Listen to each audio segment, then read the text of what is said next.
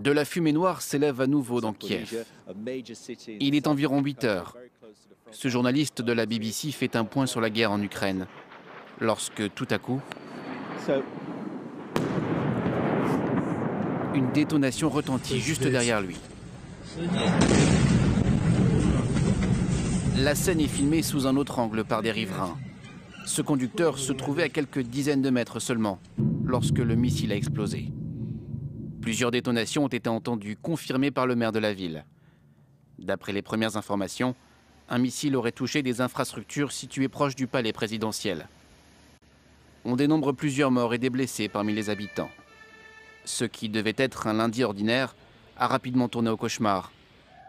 Juste à côté de voitures en feu, des secouristes prennent en charge les premières victimes. Un peu plus loin, la profondeur de ce cratère témoigne de la puissance de la déflagration. En plus de Kiev, plusieurs autres grandes villes du pays ont été visées. Ils essaient de nous détruire et de nous rayer de la planète. Ils tuent nos concitoyens qui dormaient à Zaporizhia. Ils tuent tous ceux qui allaient au travail à Dnipro et à Kiev. La capitale ukrainienne vivait dans un calme relatif depuis plusieurs mois, après le retrait des troupes russes en avril dernier. Un calme apparent qui a volé en éclats ce matin.